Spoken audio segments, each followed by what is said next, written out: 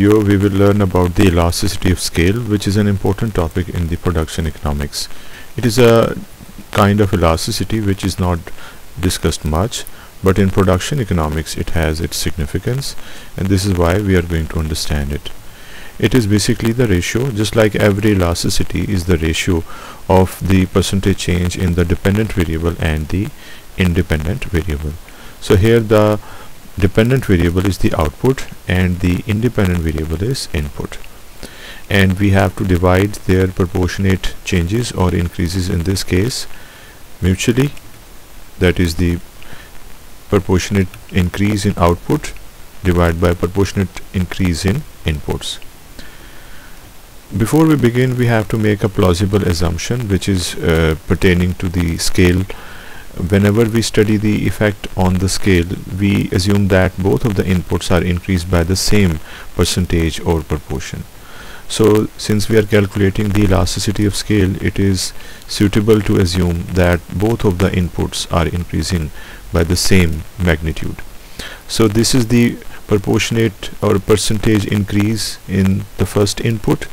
As you can see the difference divided by the original value of the first input that is V1 the difference of the second input V2 divided by the original value of V2 both of them are considered to be equal because in returns to scale we assume that both of the inputs are equally increased.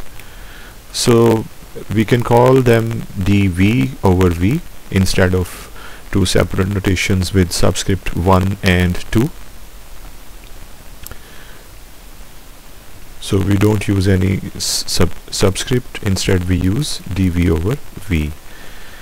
Now the formula becomes this. This is the proportionate change in output and this is the proportionate change in input.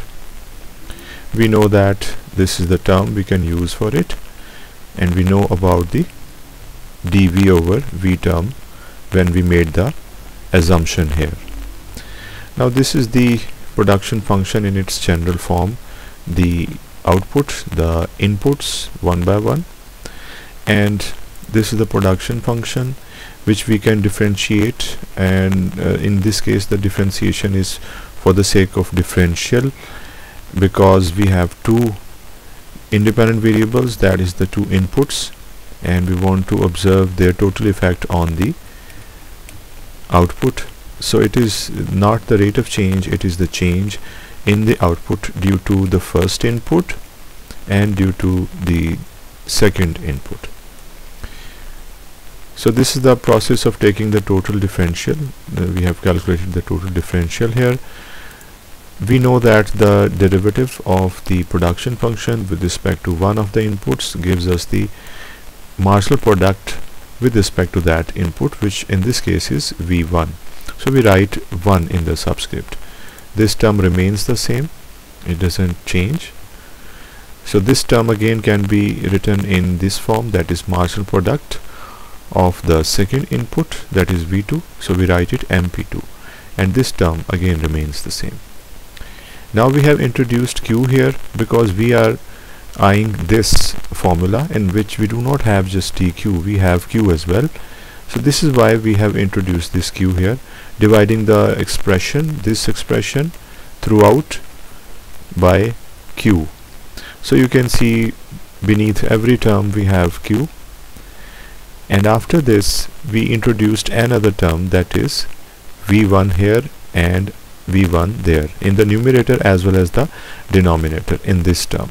So on the whole it doesn't change because v1 v1 get cancelled out and here we do the same that is dv2 is now having v2 in the denominator and q is having v2 in the numerator. So this term and that term will be cancelled out and on the whole the expression remains the same. So we haven't violated the equality. The purpose here is that we can bring this term here. And for that if I have dv1 over v1 dv2 over v2 I can consider them equal as I did before in that supposition of the returns of scale. So instead of writing these two terms, I am going to write dv over V here as well as there. Now these two terms are now common so I can take it as a common factor and remaining terms would be this out of the expression on the right hand side that we just developed. Now this dv over v if brought to the other side will appear in the denominator and this is the formula that we were trying to develop. This is the other side of the equality which is the value and if I consider the left hand side this is precisely the formula of elasticity of scale which is represented with this epsilon. So this is the formula of the elasticity of scale in which we have the inputs that is V1 and V2 we have their marginal products getting multiplied with them and we have output getting divided by them. Now we can generalize this formula because uh, there can be more than two inputs. Here we had only two inputs but in real life we can have multiple inputs so the formula can be developed on the basis of this term that is the marginal product getting multiplied with the factor of production under consideration divided by the output. And this can be replicated for any number of the inputs. So here we have done this MPI and then we have VI divided by Q. This is I which uh, ranges from 1 till n and n can be any positive number which is equal to the number of inputs that we are considering. Now the interpretation of this um, calculation that we did for elasticity of scale this is equal to 1 if it is equal to 1 it means that we have constant returns to scale.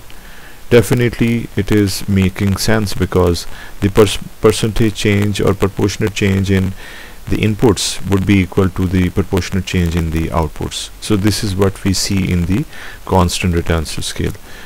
And this is the text for this phenomenon. When the percentage change in output is greater than the percentage change in input then the elasticity of scale should be greater than 1 because the numerator would be greater than the denominator. So the ratio should be greater than 1 this is increasing returns to scale and when the percentage change in the output is greater than the percentage change in input the ratio should be less than 1 and finally it means that it is the decreasing returns to scale. So keeping in mind this formula of elasticity of scale we can do the interpretation. However we can calculate this value by using this formula which would be more uh, easy to calculate. Now the uh, empirical evidence on this uh, calculation that we did.